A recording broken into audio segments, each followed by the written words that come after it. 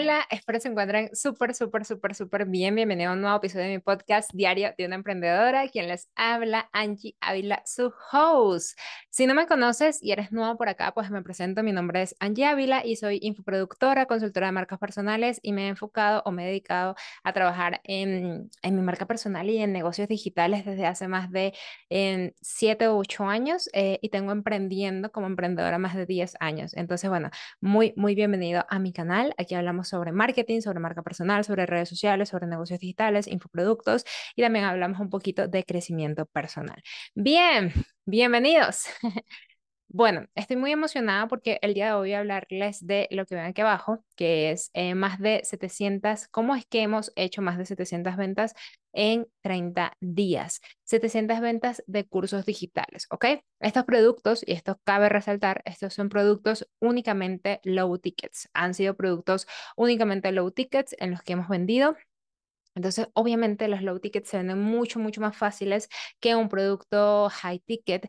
Y para las personas que son nuevas en este mundo del emprendimiento y demás, que no entienden muy bien estos términos, no te preocupes porque te voy a aclarar un poquito sobre esto. Em, existen eh, e, en el, mundo de los infoproductos estos términos como low ticket, medio ticket y high ticket. Low es algo económico, algo que un producto o un curso digital que cuesta más o menos entre 7 dólares, desde 7 dólares hasta aproximadamente 20, 97 eh, dólares, ¿vale? Em, un producto medio ticket es más o menos un producto que va desde los 197 hasta los 700 em, dólares, 697 dólares más o menos. Y los productos high ticket son productos desde más de 1000 dólares, 2.000, 3.000, 4.000 dólares, ¿vale? 5.000, 6.000, o sea, los que sean. Pero ya, esos son como que otros números. Entonces, eh, cuando nosotros estamos comenzando y comenzamos a vender productos em, digitales, pues tenemos que entender bien estos términos de low ticket, medio ticket y high ticket, porque en tu negocio mi recomendación es que tengas los tres, que tengas lo mejor de todos los mundos, es decir, tu low ticket, tu medio ticket y high ticket. Esto es un debate grandísimo entre marketers o personas que están trabajando en el mundo de los infoproductos, porque hay personas que dicen que es mejor dedicarte a vender high tickets, solamente high tickets, porque em, esto te permite tener mayor control en el cliente, o sea, mayor control en las ventas, eh, más exclusividad, puedes cobrar, em, puedes dedicarle más tiempo a las personas y es totalmente cierto. En los low tickets hay personas que dicen que solamente vendes low tickets, eh, hay personas que solamente dicen que lo mejor es estar en el medio. Realmente yo, desde mi punto de vista, lo mejor es tener los tres.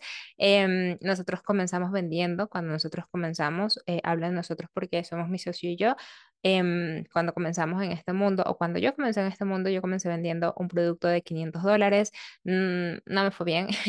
Entonces, obviamente, yo creo que esta historia la he contado demasiadas veces, pero bueno, em, obviamente Em, no me fue bien. ¿Por qué? Porque yo en ese momento no tenía autoridad, no tenía testimonios, o sea, yo era una persona que trabajaba como community manager, bueno, como community manager y un poquito de todo, literalmente, porque ayudaba a, a varios expertos o a varias personas que eran infoproductores a a crear sus negocios. Entonces hacía embudos de venta, email marketing, o sea, hacía toda lo que es la parte del servicio de lo que era la parte de infoproductos.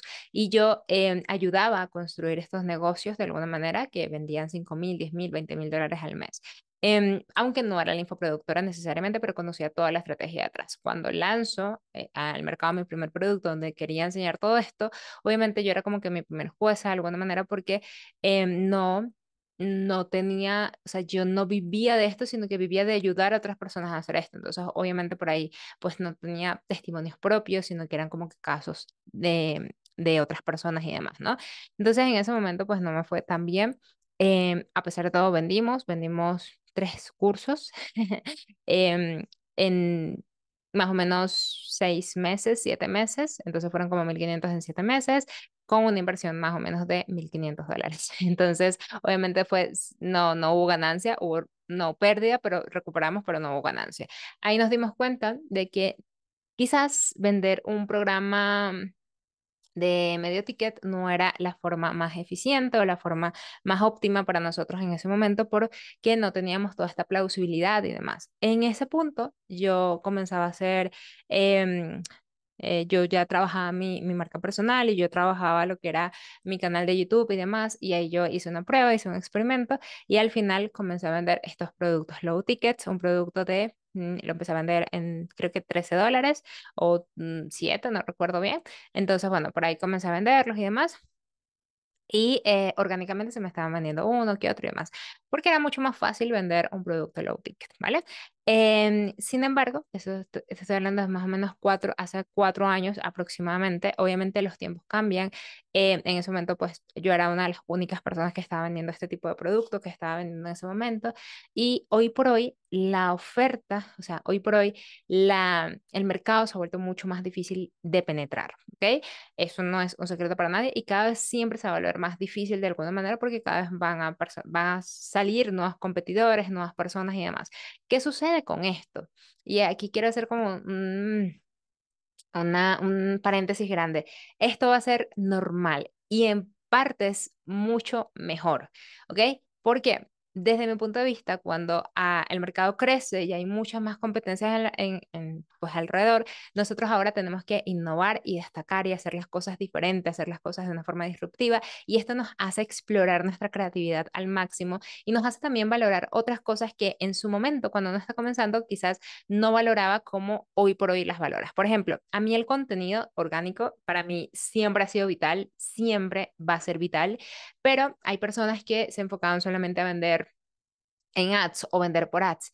Y hay personas que únicamente hacían contenido orgánico y no se enfocaban a vender por ads. Entonces, lo bonito de esto, por ads, es hacer pauta publicitaria, es decir, que yo invierta en, en redes sociales para poder ganar eh, más alcance y el tener más alcance, pues me permite que mi mensaje se expanda más y eso hace que me conozcan más personas y por ende, pues hay más posibilidades de que más personas te compren, porque al final los canales de comunicación, eh, por ejemplo, eh, todo lo que hacemos a nivel de mm, estrategias de marketing, que a veces suena súper complejo, pero literalmente marketing no es más que acciones específicas que nosotros hacemos para de- decirle a las personas que tenemos algo, ¿vale? Algo, una idea, un, un producto, lo que sea, pero es como decirle a las personas, tengo esto. Obviamente, en la parte del marketing hay una parte, en, en esto, en esta parte de marketing hay una fase en la cual nosotros hablamos de tengo esto, mira lo que es, y ahí hablamos de un creativo o de una, un diseño, algo por el estilo, que llame, a las llame la atención de las personas, que cree la atención, genere la atención de las personas, y eso a su vez va a hacer que genere un interés, como, "Mm, me llama la atención, ¿qué será esto? Ese ¿qué será esto? Es lo que nosotros tenemos que lograr en nuestras publicidades, nuestros posts, etcétera, etcétera, ¿no? Una vez que las personas digan, "Mm, ¿qué será esto? Ahí ya comenzamos a em, persuadirlos de alguna manera y que al final pues tomen una acción, ¿vale? Entonces, esto es interesante porque a medida que el mercado se sofistica, sofistica, el mercado entra en sofisticación, es decir, las personas se vuelven un poco más exigentes o nos volvemos, porque yo también soy consumidora, nos volvemos un poco más exigentes a la hora de comprar cosas. Em, vamos a ver siempre a esta persona que uno pueda tener más resultados o dos que me genere confianza y esto es vital, ¿ok? Porque es una de las cosas que más uno comienza a valorar a la hora de, em, de, de- es una de las cosas que más comienzas a valorar. ¿Cómo? Porque cuando nosotros comenzamos a vender productos, eh, servicios o lo que sea, tenemos que pensar en la otra persona en la persona que nos va a comprar, básicamente. O sea, ¿qué quiere recibir esta persona? ¿Qué cosas ha hecho esta persona? ¿Qué cosas em, quiere, desea, que le duelen, pero que también qué cosas le han decepcionado a esta persona? Y esto es la clave para mí, desde mi punto de vista, de mejorar ofertas, de mejorar productos. Y ahorita voy a hablar de lo que es la oferta, lo es todo, que está también en el título de este podcast, pero esto es importante porque basado en esto, tú vas a conocer muy bien a tu cliente y cuando tú conozcas muy bien a tu cliente, esto es importante y yo hice las paces con esto porque esto que te voy a contar ahora, de verdad era algo que a mí como infoproductora me frustraba. Yo siempre creí que el producto se tenía que crear primero antes de venderlo. Y sí, sé que puede sonar un poco como, Angie, pero ¿cómo va a crear? Lo sé o capaz ya, ya tú estás vendiendo y demás y ya entiendes por qué te digo esto, pero de verdad, em, yo sé que es como decirle a Van Gogh que primero venda la pintura y después dibújala, ¿no? O sea, no tiene nada de sentido. Lo sé, pero en marketing y en el mundo de los infoproductos realmente esto es lo más importante. Es decir, que nosotros podamos vender antes de crear, porque de esta forma nosotros validamos. Obviamente el cliente tiene que enterarse, tiene que saber que estamos vendiendo antes de tener algo creado, ¿no? O sea, ¿y cómo se entera? ¿Cómo sabe? Por lo menos en el mundo de los infoproductos nosotros le ponemos preventa, ¿vale? Siempre, siempre utilizo la frase preventa o la palabra preventa.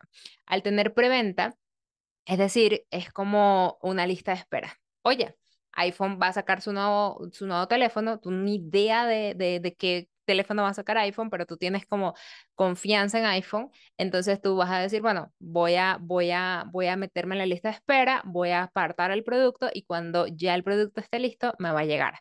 ¿Qué pasa? Que obviamente hay una parte donde es totalmente normal que si la persona no está conforme, pues puede, puede tranquilamente eh, reembolsar o devolver ese iPhone, un ejemplo, ¿no? En este caso en los infoproductos también trabajamos lo mismo porque nosotros, por lo menos nosotros, trabajamos en lo que es la, em, el reembolso si la persona no, no está satisfecha, ¿ok? Entonces, por ejemplo, ¿qué es lo que nosotros hacemos en la membresía? De, de Society Info Vibes, que si no sabes qué es esto, aquí abajito te dejo un videito para que lo averigües y también abajito te dejo un enlace para que vayas y veas de qué va. Pero bueno, nosotros lo que hacemos es para poder crear productos ganadores es primero entender o, estas ofertas ganadoras, que ya voy a hablar la diferencia entre, eh, entre producto y oferta, es entender primero en qué eres, eres bueno o en qué eres buena. ¿Ok? Tener una idea de lo que quieres vender. Tener la idea. ¿Ok? Tener, ok, yo más o menos quiero vender em, un curso que enseña a las personas a em, grabarse delante de la cámara, ¿vale? Eso es una idea. No necesariamente tiene que ser 100% del producto, pero es la idea. Luego lo que hacemos es estructurarlo como un producto carnada. Aquí abajito te voy a dejar, o aquí en algún lugar te voy a dejar donde yo trabajo lo que es la parte de a los que están en el podcast, perdón, es que estoy acostumbrada a trabajar como que en video. Eh, sé que estoy haciendo este podcast mucho como que de, como más, ro mm, no sé si es robótico la palabra, pero sé que lo estoy llevando un poquito más al tema de marketing y sé que estos últimos podcasts han sido así, pero es que realmente estoy en este punto en que quiero mostrarles un poco lo que nosotros hacemos, lo que nosotros enseñamos y cómo tú también puedes aplicarlo. Entonces, por alguna parte de este podcast o de este video te voy a dejar cómo construir este producto carnada, ¿vale? Que es cómo estructurar, mejor dicho, el producto carnada. Luego, lo que hacemos, y aquí es la parte más importante de todas, es desarrollar la oferta, ¿ok? La oferta es el cómo nosotros mostramos a las personas, a todo el mundo, lo que nosotros tenemos para ofrecerle, para em, darle, ¿vale? Es decir, no es lo mismo que yo te diga a ti, eh, no, es que tengo una taza de café rosada, por ejemplo, a yo te diga, es que esta taza de café te calienta, o sea, calienta acá el café, te lo mantiene calentito, esta taza de café es para, es de la colección de Barbie, no sé, estoy inventando. Entonces, es de irte diciendo, y esta taza de café, ¿para qué otras cosas te sirven? Normalmente hay personas que creen que, eh, o que lo hacen así, que es que muestran todas las características, pero no se enfocan en lo que es el beneficio. Entonces, nosotros cuando creamos una oferta, trabajamos lo que es el beneficio. ¿Qué hicimos nosotros? Teníamos este producto em, que el que hicimos más de 700 ventas en 30 días. Em, este producto ya se estaba vendiendo de forma orgánica, pero no se estaba vendiendo de forma masiva como se estaba vendiendo ahorita. ¿Qué hicimos? Pues obviamente hay, tres cosas que, hicimos. Uno, sí o sí, fue escuchar el mercado eh, y ver hacia dónde iba el mercado. En este caso, las personas van hacia lo que es el tema de inteligencia artificial. Entonces dijimos, ok, ¿cómo podemos incluir este producto o lo que es la inteligencia artificial a este producto para que las personas lo puedan hacer más rápido? Entonces comenzamos a hacer diferentes pruebas, diferentes, diferentes testing, etcétera y demás, para lograr que realmente esto sea posible. Eso fue lo que hicimos como paso número uno. Dos, ¿qué más hay en el mercado? Comenzamos a investigar qué más hay en el mercado, cosas parecidas cómo puedo hacer esto superior a lo que hay en el mercado, sin excederme, porque esto es importante porque este producto es un low ticket. Entonces, sin excederme sería, ok, yo veo que hay en el mercado, ah, bueno, aquí no están dando, no sé, unas plantillas para mockups. Aquí no están dando em, un tutorial de dónde alojar el curso. Aquí no están dando eh, tal cosa. Entonces vamos a agregarle esto. Y ahí vamos haciendo gordito nuestro producto. Es decir, no solamente te voy a dar la taza, sino que te voy a dar la taza, con un portataza, por ejemplo, y te voy a dar un bolígrafo eh, rosa para que tú como mujer emprendedora eh, puedas trabajar. Esto es un ejemplo, por el mismo precio. Entonces, esto es interesante porque obviamente a nivel de infoproductos no implica costos, pero esto también lo puedes aplicar a nivel de productos físicos y ahí tienes que evaluar obviamente tus costos, ¿ok? Entonces, luego lo que hicimos fue adaptar todas estas cositas que le estábamos agregando al producto a nuestro producto carnada, es decir, a este curso que teníamos y comenzamos a mejorarlo. Comenzamos a mejorarlo, comenzamos a también a hacer pruebas piloto. De hecho, no sé si alguno de ustedes ha estado en alguna prueba piloto mío, pero sabe cómo son mis pruebas piloto, donde yo literalmente hago todo el producto y todo el proceso allí, ¿vale? Entonces, otra de las cosas que ya tenemos o que nos permite esta prueba piloto, aparte de probar la metodología y saber que sí es cierto o no lo que nosotros estamos diciendo, de, verdad, em, tener testimonios, que esto es clave, ¿vale? Esta parte de los testimonios es totalmente clave porque las personas confían en no solamente en ti, que eres el productor, porque, ah, bueno, porque tú porque tuviste suerte, creencias, ¿vale?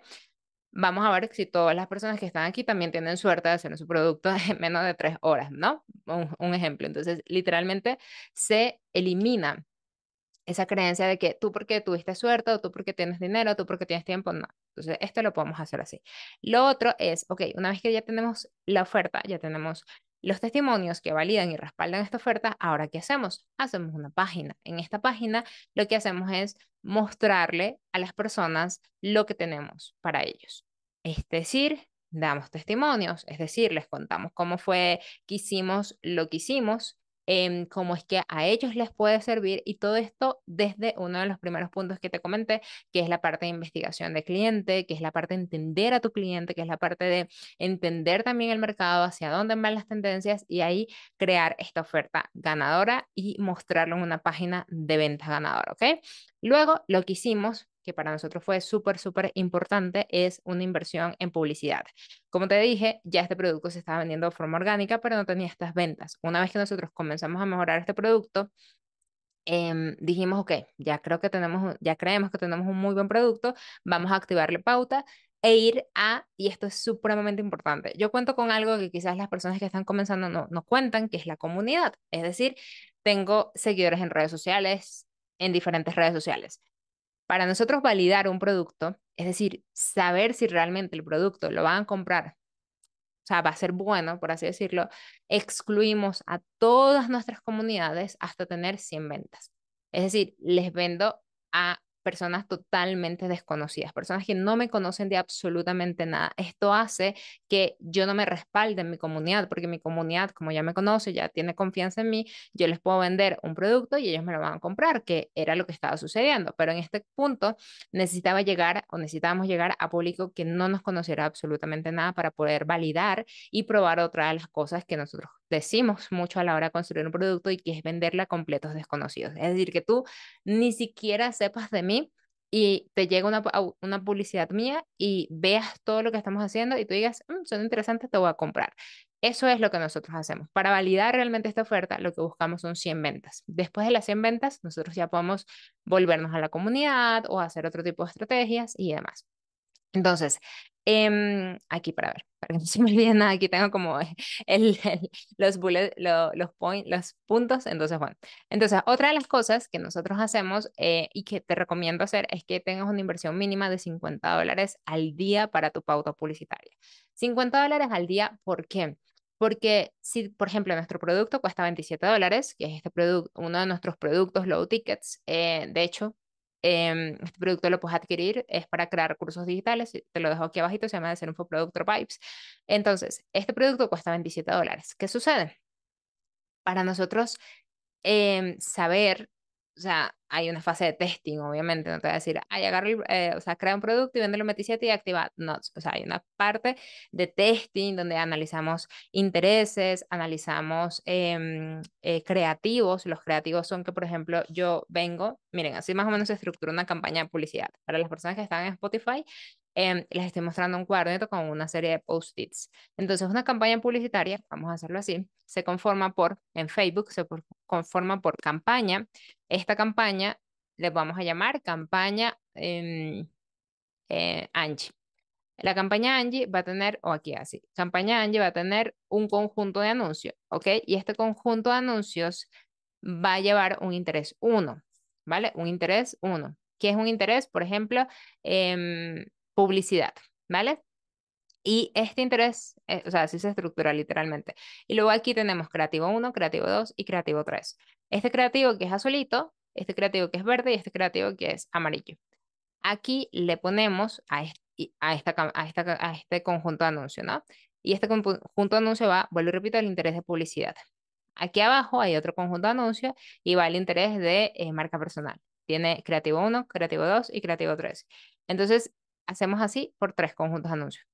Un interés, dos, interés 2 y interés 3. Interés publicidad, interés marca personal, interés mm, libros para emprendedores. Un ejemplo.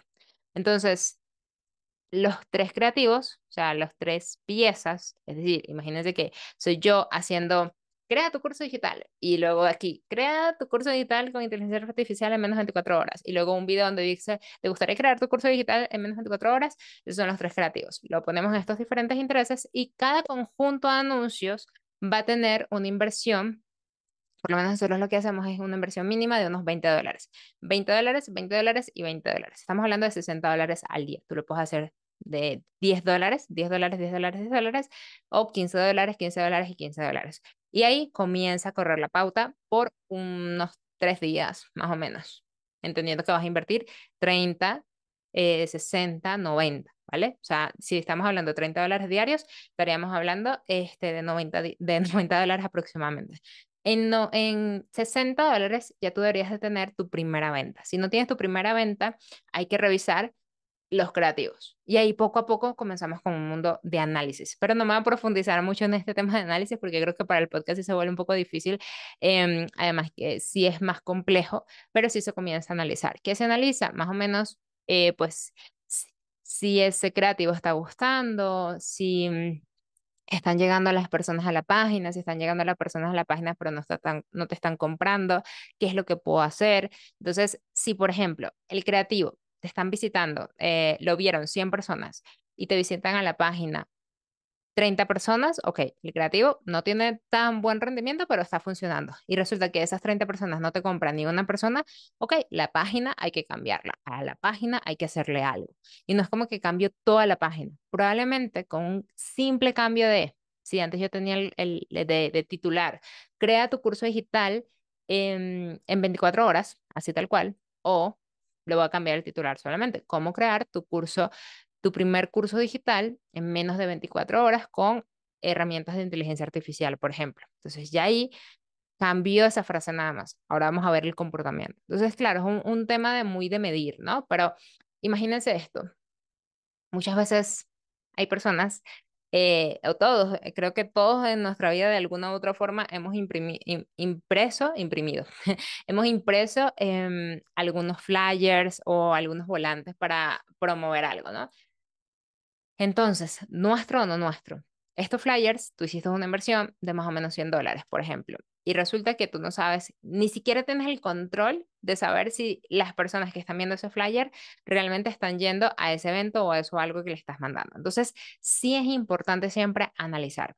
Esto es lo que nosotros, el paso a paso que nosotros hicimos para poder generar más de 700 ventas en solo 30 días. Hoy por hoy van muchísimas, muchísimas más de esas ventas Em, y otra de las cosas que nosotros hacemos que enseñamos en nuestros diferentes programas, tanto en The Society Info Vibes como en Hot Selling Accelerator, nosotros le enseñamos a las personas que no solamente van a vender un solo producto, sino que van a vender otros productos a ese mismo cliente. Esto aumenta nuestra facturación mucho y drásticamente y radicalmente. Entonces, esto es algo que si tú te lo propones, lo vas a poder hacer eh, lo puedes hacer por tu cuenta, pero si lo quieres hacer acompañado, pues puedes comenzar con nosotros. Nosotros tenemos tres niveles. Tenemos de ser infoproductor, que es crear y lanzar tu primer curso digital, también venderlo. Tenemos la sociedad, que lo vas a hacer en compañía mía, por supuesto, y tenemos lo que es Hot Selling Accelerator, que ya es un programa intensivo, esto es un programa high ticket. Si te fijas, tenemos los tres tickets, low ticket, medio ticket y high ticket. Entonces, ya queda de tu parte con cuál quieras comenzar o igual también hacerlo por tu cuenta. Igual yo te voy a estar trayendo estos videos y demás. Recuerdo importante, estoy para las personas que, que, que, estamos todavía, que me están viendo mes a mes, eh, semana a semana y están todavía en el mes de abril. Eh, para el 24 de abril voy a, abrir, voy a abrir una mentoría, una mentoría conmigo solamente para tres personas. Va a ser algo súper intensivo donde voy a enseñar qué es marca personal, voy a enseñar eh, lo que es un negocio digital, voy a enseñar lo que es eh, crear un ecosistema digital y lo vamos a hacer paso a paso. Si te interesa y te gustaría crear, eh, registrarte en la lista de espera, que abajito te voy a dejar ya la lista de espera para que te registres de una vez si te interesa. Esto es un programa high ticket, tómalo en cuenta por favor porque es un programa literalmente casi que uno a uno, somos cuatro personas, o sea, yo más tres personas más trabajando de la mano semana a semana sesión a sesión, porque van a ser seis sesiones. Entonces, tómalo en cuenta para si quieres trabajar conmigo, pues ahí lo tienes. Entonces, bueno, nada, cuídense mucho. Espero que les haya gustado el podcast de hoy. De verdad, me emociona mucho poder hacer este tipo de podcast donde hablo un poquito más de marketing, no siempre, no siempre solamente mentalidad o cosas así, porque aunque son temas que me apasionan, también estos son temas que me gustan mucho y em, quería compartir con ustedes. Quería hacer abril 100% enfocado a marketing. De hecho, los jueves están publicando videos también, si tienen dudas, preguntas y demás de las cosas que quieran em, comentarme, de las cosas que les gustaría, de las cuales yo hablara, eh, bien sea de lo que sea, yo con muchísimo, muchísimo gusto voy a tratar de hacer estos podcasts o estos episodios o incluso los videos más cortitos para el canal de YouTube enfocados a estas preguntas que me hagan. Entonces, bueno, nada, cuídense mucho, se les quiere un montón, un montón, un montón. Nos vemos la próxima semana en un nuevo episodio de nuestro podcast diario de una emprendedora y espero que le saques partido a toda esta información de valor que te he compartido el día de hoy. Bye, bye.